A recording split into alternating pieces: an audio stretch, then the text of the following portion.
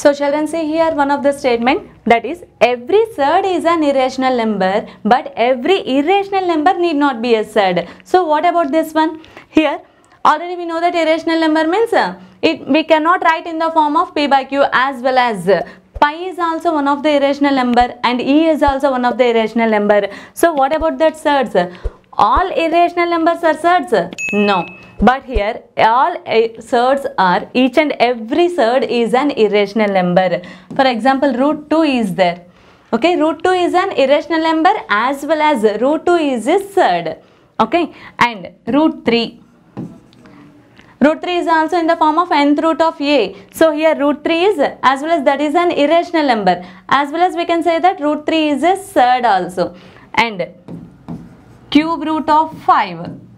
That is also a surd as well as that is an irrational number. But here which number which irrational numbers are not surds? Here pi is there. Pi is an irrational number. Generally we know that pi is an irrational.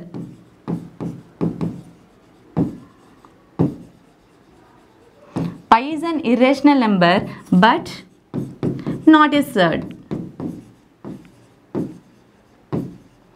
Why? Because because pi we cannot write in the form of p by q. That's why we can say that pi is an irrational number. And in the same way pi is not in the form of nth root of a. That's why we are saying that pi is not a surd and here root 2 is an irrational as well as that is a surd. So we can say that which numbers are we are calling as surds. Those all numbers we can take it as irrational numbers. But every irrational number need not be a surd. Which one are the examples means here we can say that pi and e is also. E is also an irrational number but that is not an not a surd.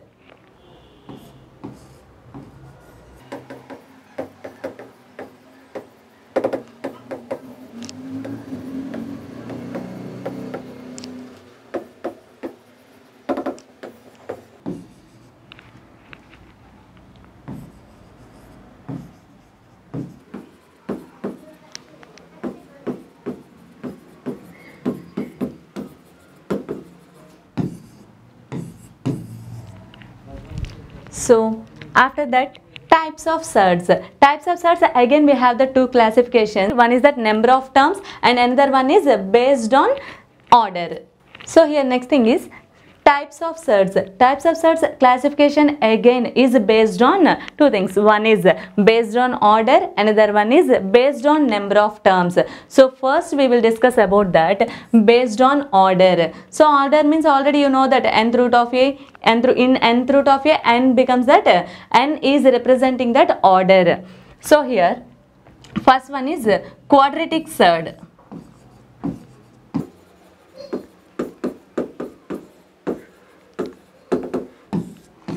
What about that quadratic surd? Here n means here n is equals to 2. In nth root a n is equals to 2 then we will call that surd as quadratic surd. Just for example root 2, root 3, root 5, root 7 and so on. Here already I told that here n is equals to 2 no, n is equals to order 2. So if the order of the surd is 2 we will call that surds as quadratic surds. Next one is cubic surds.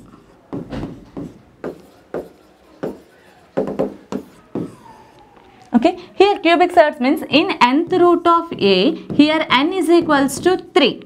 So, if that surd order is 3, then we will call that uh, those surds are cubic surds. So, cube root of 5, cube root of 7 and so on. So, this type of surds are known as uh, cubic surds. So, after that quadratic surd, after that cubic surd, we have that one more surd that is uh, biquadratic surd.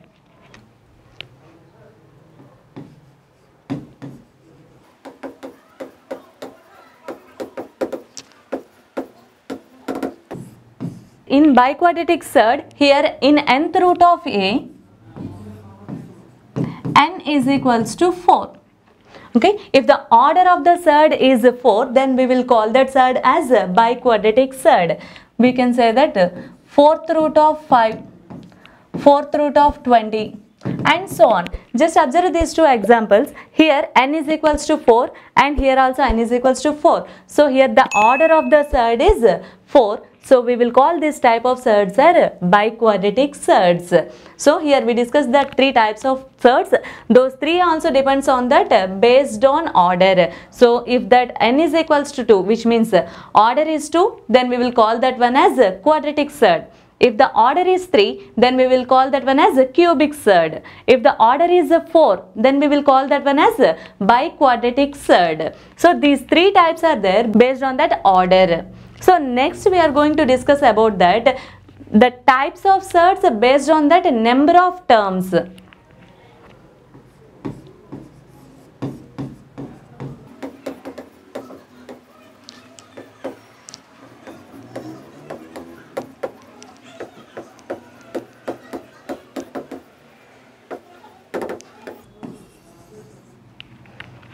So shall the next thing is types of surds based on number of terms.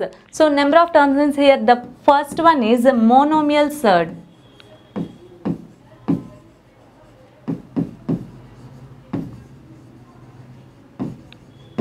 First one is monomial surd. After that monomial surd we have that pure surd.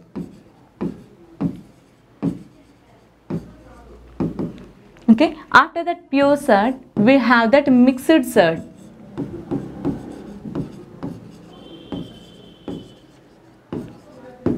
after that mixed surd we have that compound surd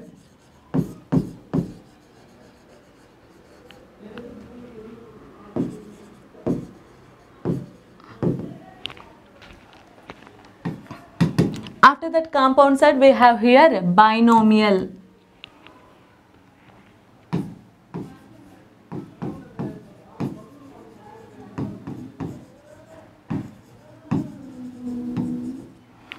and final one is trinomial surd.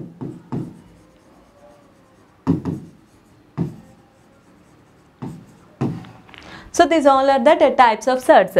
So first one is monomial surd. So what about that monomial surd? In a surd, if it consists of a single term, it consists of a single surd, we will call that one as monomial surd. Just example, root 2 is there. Root 2 means here in this side we have that only one number that is root 2. We have that only one term right. So that's why we will call this one as monomial surd. Some other examples cube root of 1 by 3 okay and here fifth root of 4 and so on. These all are single terms only no. So single terms here there in that surd. So we will call that surds as monomial surds.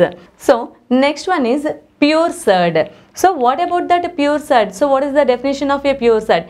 If the surd is in the form of a into nth root of b. If a surd is in the form of a into nth root b, then here a is equals to 1 here a is equals to 1 then we will call that surd as a pure surd okay just one example. Here root 2 is there. Root 2 is in the form of a into root 2 so here a is equals to 1 yes or no? Here this is in the form of a into root 2 but here a is equals to 1 this is in the form of a into nth root of b only. But here a is equals to 1 and this is in square root of 2 here n means n is equals to 2 and here b is equals to 2. Okay, so this type of surds are called as pure surds. Here only one thing pure surd means that should be in the form of a into nth root of b but here a is equals to 1 then we will call that one as pure surd. What is the another name of a pure surd? That is entire surd.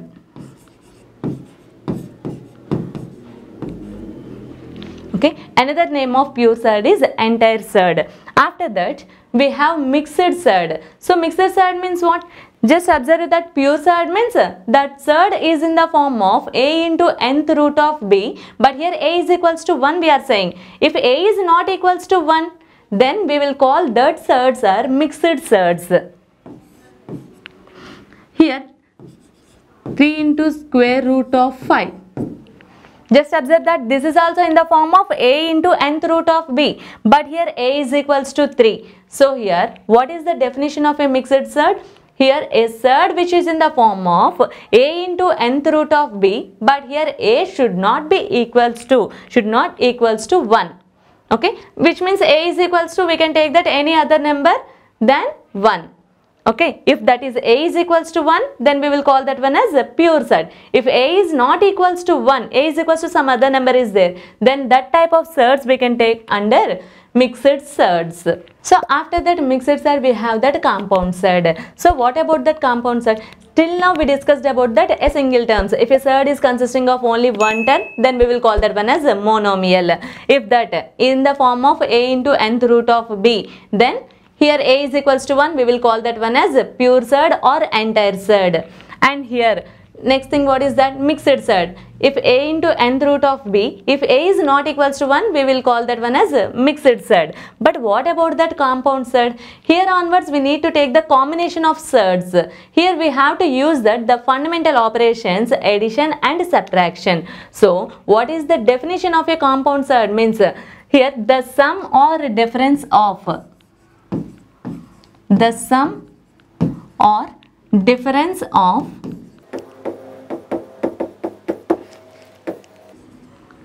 one rational number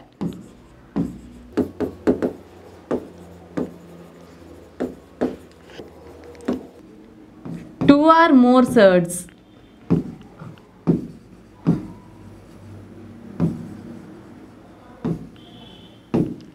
One or two or two or more surds that combination by using the sum or difference. Those surds we will call as compound surds. So here that is in the form of a plus or minus b nth root of some c. Okay, so here we have that a rational number as well as we have here surd is also there which means that is an irrational number or else 2 plus 3 into some 2 okay? Here in this side we have that uh, two terms. Two terms also there by using that addition. In some cases we can write like this also no root 3 so here in this total form we have here 2 plus 3 root 2 and minus 3 so here we have that three terms. So the sum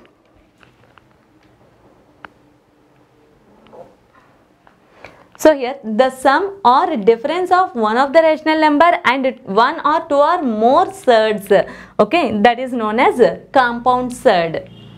After that compound surd we have that binomial surd.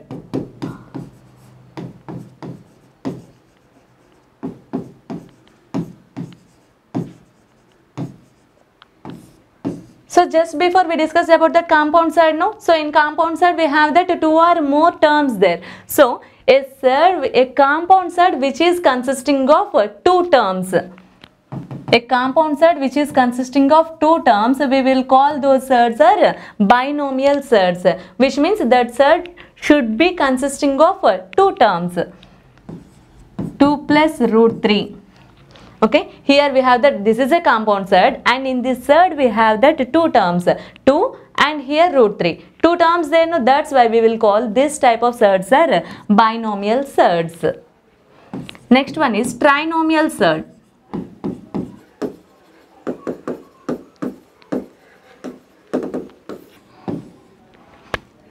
So here a compound surd which is consisting of three terms So here a compound surd which is consisting of uh, three terms then we will call that one as uh, trinomial surd. Here one of the example 3 plus root 2 plus or minus some root 3. So here in this surd we have that uh, three terms. So we will call this type of surds are uh, trinomial surds. So once again if that surd is consisting of uh, only one term that is monomial surd. If that surd is consisting of two terms we will call that one as the binomial surd. And here if that compound surd is consisting of three terms okay then we will call that one as a trinomial surd so these all are the types of surds based on that number of terms So next thing is similar surds or like surds. Uh, next one is dissimilar surds or unlike surds. So what about the similar surds or like surds? Here the ratio of two surds. The ratio of two surds is rational.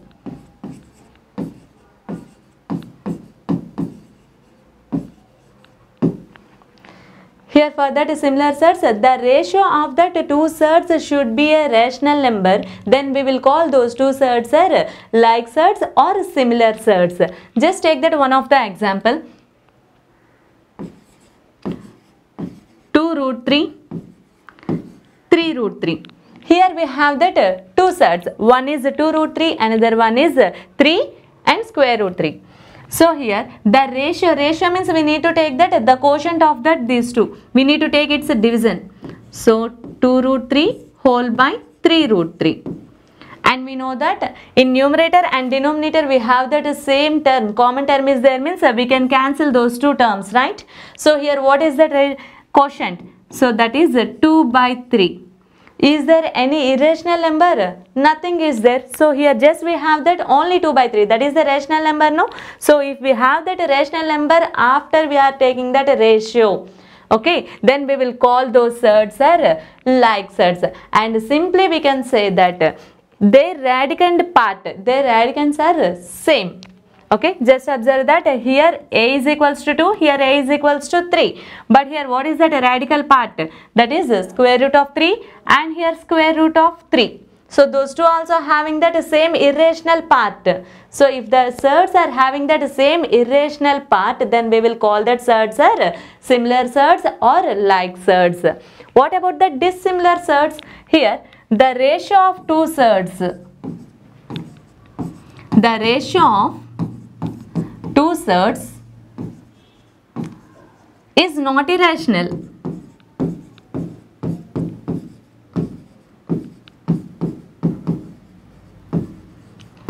Okay, the ratio of two surds is not irrational, then that is uh, those two are dissimilar surds or uh, unlike surds. Just one example 2 into square root of 2 and here 3 into square root of 3. Okay, so just observe that 2 root 2 whole by 3 root 3. Is there any common things? Irrational number? Here no common things there, right? That's why here no cancellations also possible. Here for example here 4 is there then we can cancel these two. But here irrational part we don't have that any same part.